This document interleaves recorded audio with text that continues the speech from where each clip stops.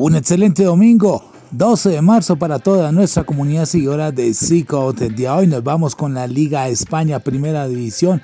Encuentro entre el Betis visitando al Villarreal. El Betis llega con tres encuentros ganados, dos perdidos y un empatado a este encuentro frente a un Villarreal que llega con dos encuentros ganados, tres perdidos y un empatado en las últimas fechas de la primera división.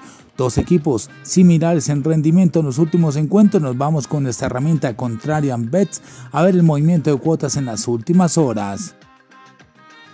Por parte del underdog, Betis abre en cuota 3.72, sube a cuota 4.64, mientras el Villarreal con el público y el 71% del cash del dinero en los casinos de Las Vegas pasa de cuota 2.08 a 1.82 en las últimas horas y bajando.